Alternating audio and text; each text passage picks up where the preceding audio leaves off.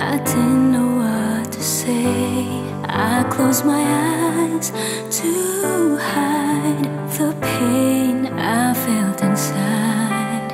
I could never understand how love went out of hand, and now there's nothing I can do.